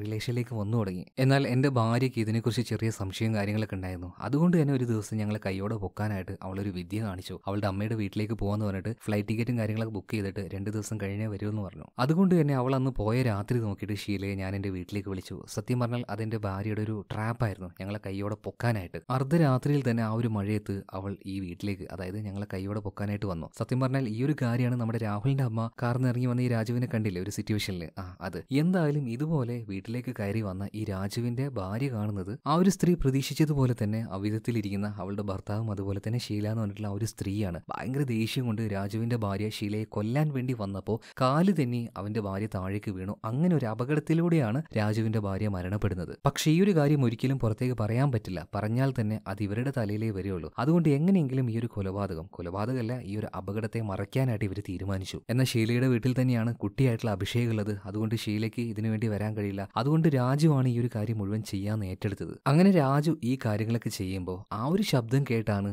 രാഹുൽ ഇങ്ങോട്ടേക്ക് വന്ന് നോക്കുന്നതും ഇതുപോലുള്ള ഈ ഒരു കൊലപാതകം നേരിട്ട് കാണുന്നതും. ഈ കാര്യങ്ങളെല്ലാം ഈ ഒരു രാജുവും അതുപോലെ തന്നെ ശൈലിയും കൂടെ ഡി സി പി ആനന്ദിനോട് പറയുന്നുണ്ട്. ഇപ്പം ആനന്ദ് പറയാണ് വർഷങ്ങൾക്ക് മുന്നേ ഒരു കൊലപാതകം ചെയ്തു. നല്ല നൈസായിട്ട് തന്നെ നിങ്ങൾ അതിനെ മറച്ചു വെക്കുകയും ചെയ്തു. എന്നാൽ നിങ്ങൾ ചെയ്ത വലിയ കുറ്റം അതല്ല. മറ്റൊരു കുട്ടിയുടെ ലൈഫാണ് നിങ്ങൾ തകർത്തത്. ആ ചെറുക്കിന് ഓർമ്മയുണ്ടോ നിങ്ങൾക്ക്? രാഹുൽ നിങ്ങൾ ചെയ്തതിനുള്ള അനുഭവിച്ചത് ആ പയ്യനായിരുന്നു. അവൻ കണ്ട കാര്യം എല്ലാവരോടും പറഞ്ഞപ്പോൾ എല്ലാവരും അവനൊരു പ്രാന്തനാക്കി. കൂട്ടുകാരും ആ ഒരു പയ്യനെ കൂടെ കൂട്ടാതെയായി. എല്ലാവരും അവനെയും അവന്റെ കുടുംബത്തെയും അപമാനിച്ചു. അപമാനം കാരണം ആ ഒരു കുട്ടിക്കും അവന്റെ അമ്മയ്ക്കും അവസാനം ആ ഒരു നാട് വിട്ട് പോവേണ്ടി വരെ വന്നു. അവന്റെ ജന്മനാട് വിട്ട്. മാത്രമല്ല ആ ഒരു പയ്യൻ എല്ലാ ദിവസവും രാത്രി രണ്ടേ പന്ത്രണ്ടാവുന്ന സമയത്ത് ആ ടി വിക്ക് മുന്നിൽ പോയിരിക്കും അൻതാരിയുമായിട്ട് സംസാരിക്കാനായിട്ട്. പക്ഷെ പിന്നീട് അൻതാരിയുമായിട്ട് സംസാരിക്കാൻ കഴിഞ്ഞില്ല. അതുകൊണ്ട് തന്നെ ആ ഒരു പയ്യനുണ്ടല്ലോ അവൾ ജോലി ചെയ്യാൻ പോകുന്ന രണ്ടായിരത്തി പത്തിൽ പണി പൂർത്തിയാകുന്ന ആ ഹോസ്പിറ്റലിൽ അവിടെയാണല്ലോ അൻതാരി ജോലി ചെയ്യാൻ പോകുന്നത്. സോ ആ ഒരു ഹോസ്പിറ്റലിന് മുന്നിൽ പോയിട്ട് അവൻ എന്നും ഇരിക്കുമായിരുന്നു അവളെ കാണാനായിട്ട് അവളെ കണ്ട് നേരിട്ട് സംസാരിക്കാനായിട്ട്. താൻ പറയുന്നതൊന്നും പ്രാന്തല്ല എന്ന് അവളിലൂടെ അവന് തെളിയിക്കണമായിരുന്നു. ആ പയ്യൻ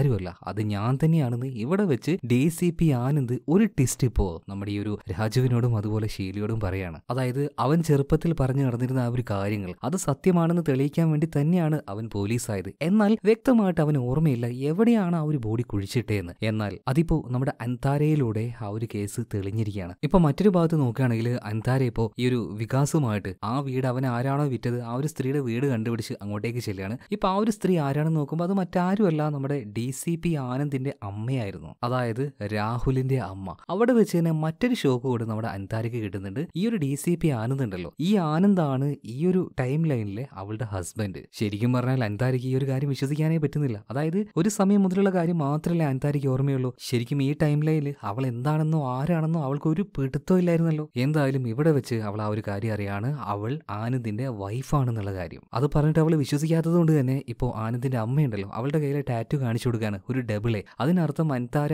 ആനന്ദ് എന്നാണ്. എന്തായാലും രഹസ്യങ്ങൾ മനസ്സിലാക്കിയ അൻതാര നേരെ ഡി സി പി ആനന്ദിന്റെ അടുത്തേക്ക് ചെല്ലുകയാണ്. എന്തിനാണ് എന്നെ കുരങ്ങ് കളിപ്പിച്ചത്? ഞാൻ നിന്റെ ഭാര്യയായിരുന്നല്ലോ. അതുപോലെ ആ ഒരു ബോഡി അതായത് രാജുവിന്റെ ഭാര്യയുടെ ബോഡി എവിടെയാ കുഴിച്ചിട്ടേന്ന് എനിക്കറിയുന്നു പിന്നെ എന്തിനാ എന്നെ കുരങ്ങ് കളിപ്പിച്ചത്? എന്നിങ്ങനെ ഡി സി പി ആനന്ദിനോട് പറഞ്ഞപ്പോൾ ഡി സി പി ആനന്ദിനും കാര്യങ്ങൾ പറയാനുണ്ടായിരുന്നു. അതായത് അവന്റെ പെർസ്പെക്റ്റീവിൽ നിന്ന്. ഇപ്പൊ ആനന്ദ് അവൻ ചെറുപ്പത്തിൽ രാഹുൽ ആയിരുന്നല്ലോ. എന്തായാലും തൽക്കാലം നമുക്ക് രാഹുൽ തന്നെ പറയാം. കുട്ടിയായിരിക്കുമ്പോൾ രാഹുൽ വലുതായിരിക്കുമ്പോൾ ആനന്ദ്. എന്തായാലും ഈ രാഹുൽ ഒരു ദിവസം യാദൃശികമായിട്ട് അന്താര്യമായിട്ട് അതായത് ഫ്യൂച്ചറിലുള്ള അന്താര്യമായിട്ട് സംസാരിക്കുകയാണ്. അതുകൊണ്ടാണ് ഡിലേ വന്നതും അവൻ മരണപ്പെടാതെ രക്ഷപ്പെട്ടതും. എല്ലാവരും അവനെ പ്രാന്തനാണെന്ന് പറഞ്ഞപ്പോഴും അവന്റെ ഉള്ളിൽ ഒരു വല്ലാത്ത ആശയായിരുന്നു. ഫ്യൂച്ചറിൽ അവൻ കണ്ട ആ ഒരു പെൺകുട്ടിയോടുള്ള വല്ലാത്തൊരു ആശ. പതിയെ പതിയെ പതിയെ അത് പ്രണയമായി മാറി. അങ്ങനെ അവസാനം അവളെ കണ്ടുപിടിക്കാനായിട്ട് ആ ആശുപത്രിയുടെ മുന്നിലായിട്ട് നമ്മുടെ ഈ ഒരു ആനന്ദുണ്ടല്ലോ എന്നും പോയി നിൽക്കുമായിരുന്നു അങ്ങനെ അവസാനം അവളെ കണ്ടു പ്രണയത്തിലായി വിവാഹവും കഴിച്ചു. അതുകൊണ്ട് തന്നെ നിന്റെ കൂടെയുള്ള ലൈഫ് മാത്രമായിരുന്നു എന്റെ സ്വപ്നം. അല്ലാതെ ആ ഒരു കേസ് തെളിയിക്കലൊന്നും എന്റെ ഒരു ടാർഗറ്റേ ആയിരുന്നില്ല. പക്ഷെ എനിക്കൊരു കാര്യം ഉറപ്പായിരുന്നു അൻതാര ഒരു ഘട്ടത്തിൽ ഈ ഒരു കാര്യം ബ്രേക്ക് ആവും അതായത് പുതുതായിട്ട് പുതുതായിട്ടുണ്ടായിരുന്ന ഒരു ടൈം ലൈനാണിത്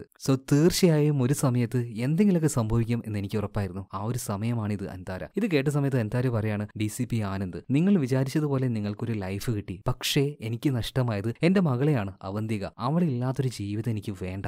അന്ന് എന്റെ ടേണായിരുന്നു എന്നാൽ ഇന്ന് അത് നിന്റെ ടേണാന്ന് പറഞ്ഞിട്ട് പെട്ടെന്ന് തന്നെ അന്താര റോഡിലൂടെ പോകുന്ന ഒരു വണ്ടിയുടെ മുന്നിലേക്ക് എടുത്തു ചാടുകയാണ്. സ്പോട്ടിൽ തന്നെ വണ്ടി ഇടിച്ച് അവൾ മരണപ്പെട്ടു പോകുന്നുണ്ട്. എന്തിനാണ് അവൾ ഇങ്ങനെ ചെയ്തതെന്ന് ഡി സി പി ആനന്ദിന് മനസ്സിലാവുന്നില്ല. കുറച്ച് കഴിഞ്ഞപ്പോൾ മനസ്സിലായി. അതായത് ഒരു കാര്യം കൂടെ ഡി സി പി ആനന്ദ് ചെയ്യേണ്ടതുണ്ട്. അതായത് ആ ഒരു പഴയ ടി വി അതിപ്പോഴും അവന്റെ കയ്യിൽ തന്നെയാണ്. വേഗം അവന്റെ വീട്ടിലേക്ക് ഓടി ചെല്ലുന്നുണ്ട് വീട്ടിൽ തന്നെ പ്രായമായിട്ടുള്ള അവന്റെ അമ്മയുണ്ട്. വേഗം തന്നെ രണ്ട് മണി രണ്ട് പന്ത്രണ്ട് ആയ സമയത്ത് പഴയ കാലഘട്ടത്തിലേക്ക് ആ ഒരു കോൾ കണക്ട് ചെയ്യാൻ പറ്റുമെന്ന് അവൻ പരമാവധി നോക്കുന്നുണ്ട്. അങ്ങനെ അവസാനം ആയിരത്തി തൊള്ളായിരത്തി തൊണ്ണൂറ്റി ആറിലേക്ക് ഈ കോൾ കണക്ട് ആവുകയാണ്. ഇതേ സമയത്ത് തന്നെ ആ കാലത്തുണ്ടായിരുന്ന നമ്മുടെ ചെറിയ ചെക്കൻ രാഹുൽ ഉണ്ടല്ലോ. സ്റ്റേഷനിൽ പോയിട്ട് അവരുടെ ആ ഒരു കളിയാക്കലും ഇതൊക്കെ കൂടിയായിട്ട് ആകെ ഫ്രസ്ട്രേറ്റഡ് ആയിട്ട് റൂമിൽ വന്നിരിക്കുമ്പോൾ ആ ആ സമയത്താണ് കോൾ കണക്ട് ആവുന്നത് നോക്കുമ്പോൾ ഈ ചെറുപ്പത്തിലുള്ള രാഹുലും അവന്റെ അമ്മയും സ്ക്രീനിൽ കാണുന്നുണ്ട്. അതുപോലെ തന്നെ ഇപ്പുറത്ത് നിന്ന് പ്രായമായിട്ടുള്ള നമ്മുടെ രാഹുൽ അതായത് ആനന്ദും അവന്റെ അമ്മയും. കാര്യങ്ങൾ നിങ്ങൾക്ക് മനസ്സിലാവുന്നുണ്ടല്ലോ അല്ലേ? അതായത് രണ്ടുപേരും ഒന്നാണ് വലുതായപ്പോൾ രാഹുലിന്റെ പേര് ആനന്ദ് ആയിരുന്നേ എന്നുള്ളൂ. എന്തായാലും അങ്ങോട്ടും ഇങ്ങോട്ടും അത്ഭുതത്തോട് കൂടിയിട്ടാണ് ഇവർ രണ്ടുപേരും നോക്കുന്നത്. അതായത് ഭൂതകാലത്തിൽ ഈ രണ്ടുപേരും ഭാവി കാലത്തിൽ ഈ രണ്ടുപേരും അങ്ങോട്ടും ഇങ്ങോട്ടും സംസാരിക്കുകയാണ്. ഇപ്പോൾ ഈ ആനന്ദ് നമ്മുടെ രാഹുലിനോട് പറയാണ് അതായത് രണ്ടുപേരും ഒരാളാണേ മാറിപ്പോരുതേ എന്തായാലും ആനന്ദ് ഇപ്പൊ രാഹുലിനോട് ഒരു കാര്യം പറയാണ്. നിന്റെ ജീവൻ രക്ഷപ്പെടുത്തിയ അന്താര അവൾ ഒരിക്കലും നീ കാണാൻ ശ്രമിക്കരുത്. കാണാൻ ശ്രമിച്ചാൽ അവളുടെ ലൈഫ് അത് നശിച്ചു പോകും. അവൾക്കൊരു മകൾ ഉണ്ടാകാൻ പോകുന്നുണ്ട്. ആ മകൾ ഉണ്ടാവുകയില്ല അവൾക്കത് വലിയ വിഷമാവും അതുകൊണ്ട് ഒരിക്കലും രാഹുലെ നിന്നെ രക്ഷപ്പെടുത്തിയ അൻതാരെ നീ കാണാൻ പാടില്ല എന്ന് പറയണം. പിന്നീട് കോളും കട്ടാവുന്നുണ്ട്. അടുത്ത സീനിൽ കാണിക്കുന്നത് നമ്മുടെ അന്താര ഒരു സ്വിമ്മിംഗ് പൂളിലാണ് ഇപ്പോൾ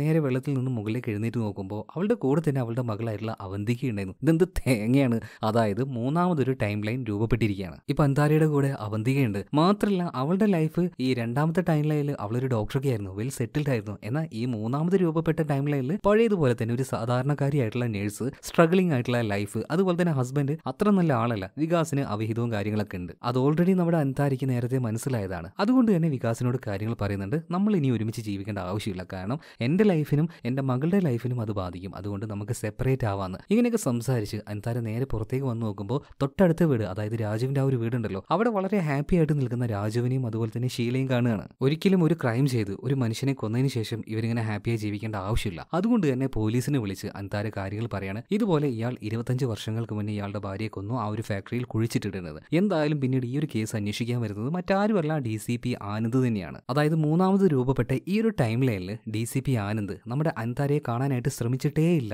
സോ ഇവർ രണ്ടുപേരും കണ്ടിട്ടുമില്ല വിവാഹം കഴിച്ചിട്ടുമില്ല. അതുകൊണ്ട് തന്നെ അന്താര വിവാഹം കഴിച്ചത് വികാസിനെ തന്നെയാണ്. അതുകൊണ്ട് അവന്തിക എന്ന് പറഞ്ഞ മോളും ഉണ്ടായി. നോർമൽ ആയിട്ട് സ്ട്രഗിളിംഗ് ആയിട്ടുള്ള ഒരു ലൈഫ് തന്നെയാണ് ഈ ഒരു ടൈം ലൈനിൽ നമ്മുടെ അന്താരയ്ക്ക് കിട്ടിയത്. അതുപോലെ തന്നെ ഡി സി പി ആനന്ദിനെ നോക്കുകയാണെങ്കിൽ അവൻ വീണ്ടും ഒരു പാസ്റ്റിൽ ഒരു ചേഞ്ച് വരുത്തിയല്ലോ. അതായത് അവൻ അവന്റെ ചെറുപ്പകാലത്തിനോട് തന്നെ പറഞ്ഞു ഒരിക്കലും അന്താരയെ കാണാൻ പാടില്ല എന്ന്. അതുകൊണ്ട് തന്നെ ആ ഒരു കേസിലേക്ക് കൂടുതലായിട്ട് അവൻ തലയിടാനും പോയില്ല. ആ കേസിനെ കുറിച്ചുള്ള കൂടുതൽ തെളിവുകൾ അവന് കിട്ടിയതുമില്ല. എന്തായാലും പിന്നീട് ആ ഒരു കേസ് തെളിയിക്കാൻ വേണ്ടി തന്നെ ഡി സി പി ആനന്ദ് പോലീസുമായി. എന്നാൽ ഫൈനലി നല്ലൊരു പ്രോപ്പർ ആയിട്ടുള്ള ഒരു എവിഡൻസ് ഇപ്പോഴാണ് ഡി സി പി ആനന്ദിന് കിട്ടുന്നത്. അങ്ങനെ ഈ രാജുവും അതുപോലെ തന്നെ ഷീലയും അറസ്റ്റ് ചെയ്യപ്പെടുകയാണ് മാത്രമല്ല നമ്മുടെ അന്താര പോയിട്ട് ഡി സി പി ആനന്ദിന് കൈ കൊടുക്കുകയാണ്. പേരൊക്കെ പറയാണ് നിങ്ങൾ ഡി സി പി ആനന്ദ് അല്ലേ എന്നൊക്കെ ചോദിക്കും ചോദിക്കുന്ന സമയത്ത് ആനന്ദ് ചോദിക്കുകയാണ് അല്ല നിങ്ങൾക്ക് എങ്ങനെയാണ് എന്റെ പേര് അറിയുന്നത്? എന്തായാലും കൈ കൊടുത്ത സമയത്ത് രണ്ടുപേർക്കും അങ്ങോട്ടും ഇങ്ങോട്ടും എല്ലാ കാര്യങ്ങളും പരസ്പരം ഓർമ്മ വരാൻ തുടങ്ങി കേട്ടോ. അങ്ങനെ അവസാനം ഇവർ പ്രണയത്തിലാവുകയാണ് പിന്നീട് വിവാഹിതരാവുന്നുണ്ട് അതായത് അന്താരയ്ക്ക് അവളുടെ കുഞ്ഞ് അതായത് അവന്തിയെ നഷ്ടപ്പെട്ടതുമില്ല അതുപോലെ തന്നെ അവളുടെ ലൈഫിലേക്ക് ഡി സി പി ആനന്ദ് വരികയും ചെയ്തു. ഇതൊക്കെ കാണിച്ചുകൊണ്ട് സിനിമ ഇവിടെ തീരുകയാണ്. കുറേ പേരുടെ കിളിയൊക്കെ പാറിയിട്ടുണ്ടാവും എന്ന് എനിക്കറിയാം. സോ എന്താണ് നിങ്ങളുടെ അഭിപ്രായം ഈ ഒരു സിനിമയെക്കുറിച്ച്? തീർച്ചയായിട്ടും കമന്റ് ബോക്സിൽ പറയാം. എന്തായാലും ഇതിനേക്കാൾ നല്ലൊരു കഥയുമായിട്ട് നമുക്ക് മറ്റൊരു ദിവസം വീണ്ടും കാണാം. Okay, bye.